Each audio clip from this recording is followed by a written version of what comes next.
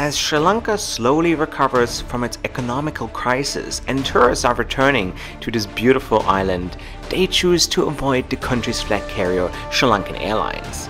Their planes are falling apart and they're the only major airline without a single plane on order, risking their reputation and competitiveness.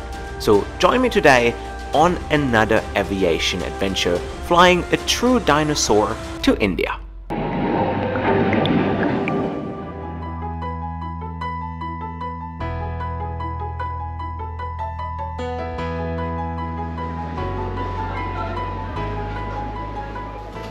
Hello. Hi, how are you? Very good. Thank you. Thank you. So guys, and here you are. Welcome to the business class lounge of Sri Lankan Airlines. I've covered this one plenty of times, so I'm not going to do it in this video, but I did receive a lot of questions about whether it is safe to travel to Sri Lanka and whether it is safe to fly Sri Lankan Airlines at the moment. Um, uh, let me show you a, a short clip. This is what the current president had to say. Uh, well, those who want to have an exciting time could come here, and maybe they could uh, even uh, take part in the demonstrations. they could hold placards which says for the president of Sri Lanka to go home, or you could hold a placard asking the prime minister of your country to go home. All that is option that's available. So, the interesting thing is, few tourists exactly did that and they got themselves into troubles. So, um, stay away from the protest and possibly don't share your opinion on social media uh, if you don't want to get into troubles. Um, but other than that, Sri Lanka is safe and it's still alright. Um, the problems aren't as bad as it looks like on the news. However, there is a shortage of uh, fuel occasionally, but then I have a bicycle, so I don't care. the other question is a lot of frequent flyer ask me, should I travel on Sri Lankan Airlines even if it's just a transit? Um, the operation of the airline is still very stable. So, however, what they do on long haul flights, for example, to Melbourne, Frankfurt, London, they have a technical stop outside the country, most of the time in Kochi in India, to refill the plane and then they continue the journey. But in terms of quality, in terms of service, everything just operates the way you used to know it. Um, they still have the lovely uh, cabin crew on that trip, so you don't have to worry about this. Uh, so, how to answer the question should you still fly Sri Lankan Airlines? Yes, if you don't uh, mind a technical stop somewhere in India, you'll be perfectly fine. So, don't worry about this. But yeah, I'll be flying on a 320 uh, to Delhi today. So, um, boarding starts in 20 minutes so let's go uh, and uh, let me show you what the regional business class on the 320 of Sri Lankan Airlines is all about.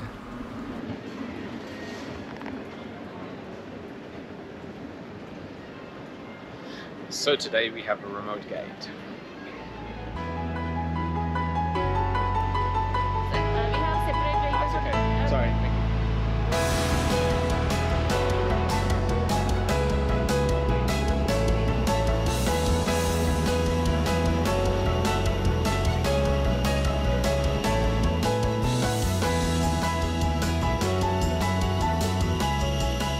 And here we are inside the cabin. On this particular dinosaur plane, Sri Lankan features 12 recliner seats in a 2-2 configuration and as you can see, the plane is slowly falling apart. So guys, and here we are. Welcome on board the Airbus A320, uh, which was originally introduced to service 16 years ago with Air Deccan. On I don't know whether I pronounced that right, but it was an airline that operated in India, which then merged with Kingfisher, and now here it's still operational 16 years later, which you can see. So the cabin is worn. Uh, it's dated. It doesn't very go pleasing on the eye. Um, and that's an issue that I have mentioned many times with on Sri Lankan Airlines. A renewal of their fleet is absolutely overdue, especially if they want to uh, compete with the other oneworld carriers out there. However, if there's something that I always appreciate on Sri Lankan Airlines is the fantastic crew. Uh, they're always high spirit, friendly, kind, and did really deliver a good service and no exception right now on this flight. Had a lovely welcome. I was just handed the menu and and this is something I really enjoy, considering it's a three-hour flight, regional flight. Uh, you have four options on the menu, so catering is still um, going strong with Sri Lankan Airlines, and uh, there's a pillow, there's a blanket at your seat. It isn't the most comfortable. You can't compare it to the 321 Neo, which they fly on like uh, regional or more uh, on routes to Singapore and Bangkok.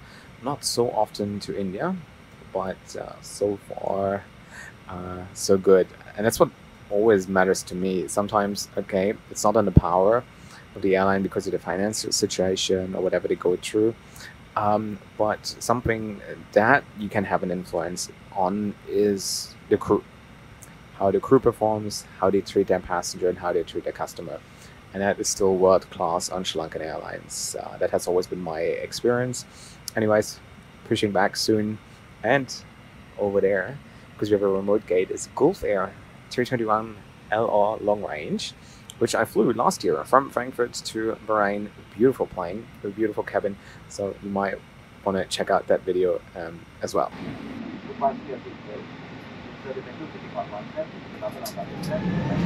Cabin crew, be seated for takeoff.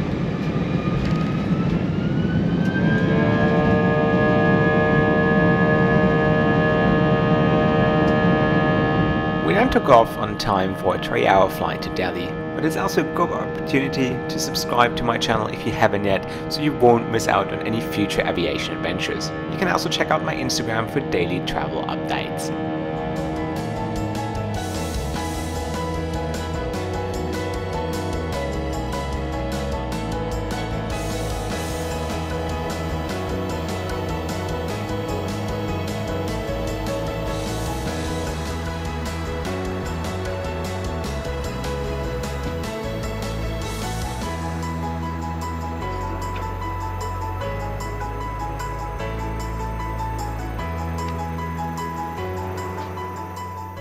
So guys, half an hour into the flight, I have a hot meal sitting in front of me. I went for the salmon option with mashed potatoes.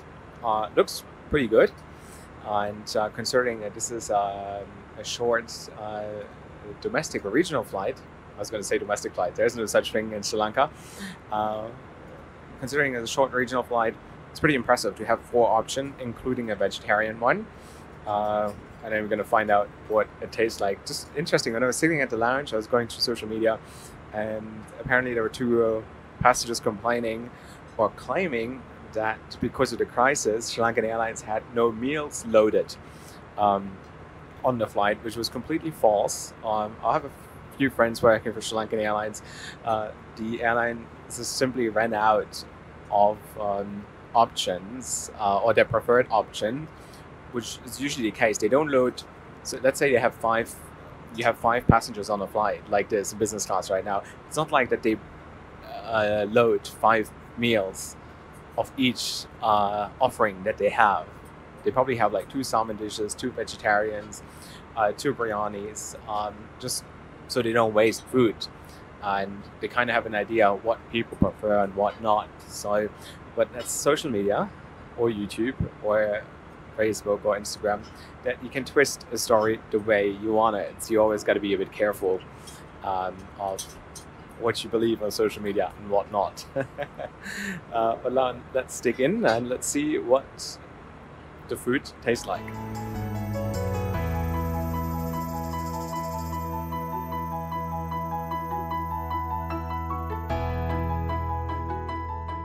So fantastic meal, uh, really good in quality uh, just having a coffee to finish off uh, the, the lunch service. Uh, though when you travel on uh, Sri Lankan Airlines, you should try their tea because they have the most comprehensive tea menu of any airlines in the world.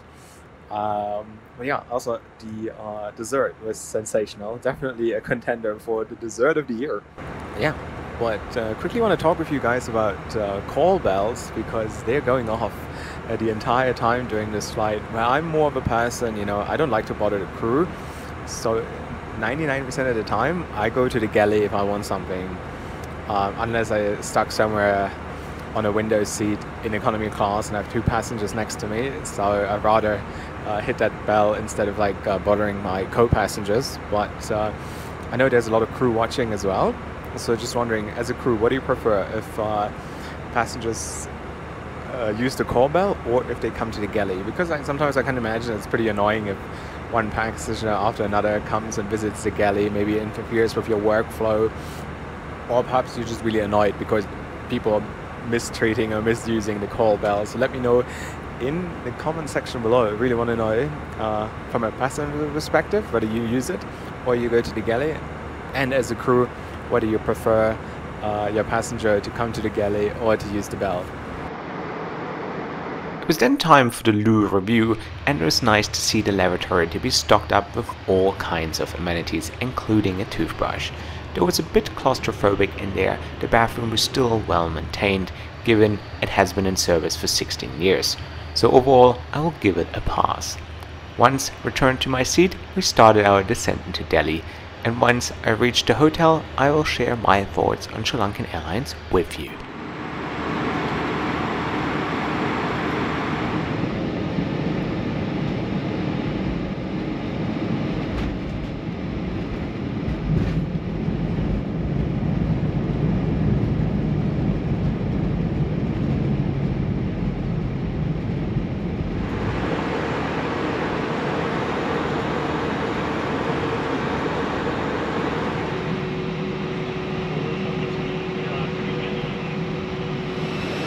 Thank you very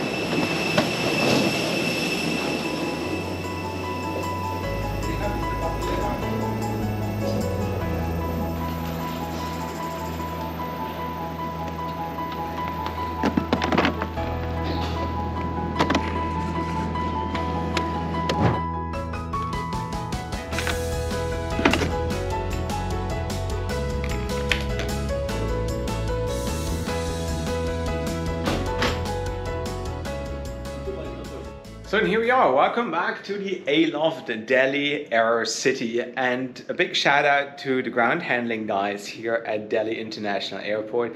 The second I got to the belt, the luggage belt, my bag was there, and it literally took me from exiting the plane to the luggage belt maybe 10 minutes. That's an incredible job. Where the whole world is collapsing, especially Europe.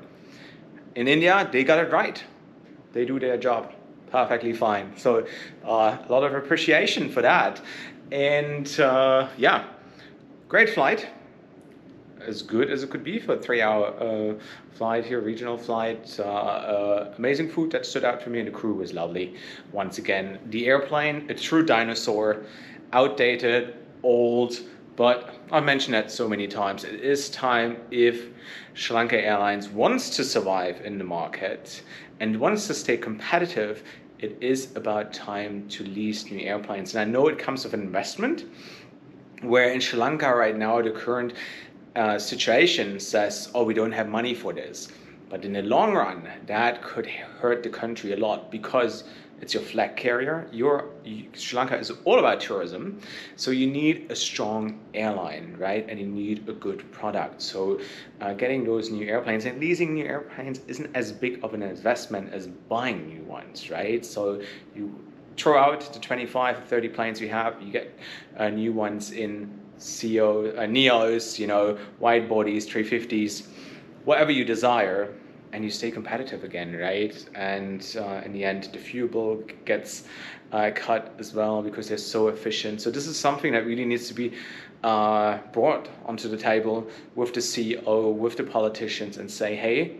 First step, we have to privatize this airline, which is on the agenda, give away management rights, and then get new airplanes. This is the only way you can save the flag carrier of Sri Lanka. There's no alternatives. But as this was it, that was my feedback. So I really hope that they're going to succeed because in the end, it's also my flag carrier since I live in Sri Lanka. But this is it. Um, yeah, thank you so much for watching. Uh, tomorrow, interesting, you got to subscribe right now because tomorrow I'll be flying Vistara on the 321 Neo flatbed from here to M Mumbai. And uh, that's going to be an interesting review. You probably saw my last video where I was exposing all the bullshit that was going on and that is still going on uh, within the airline. So see, let's see what a what a reception I get tomorrow. And then I'll be doing Akasa. Very interesting for all my, Indian followers. First flight um, from Mumbai to Ahmedabad.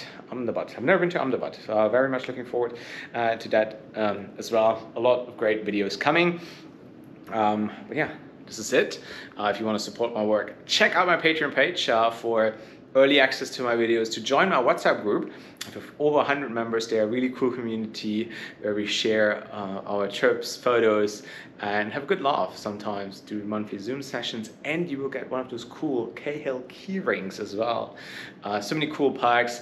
If you're interested, always happy when people support my work because I'm self-funded, I pay for all my flights.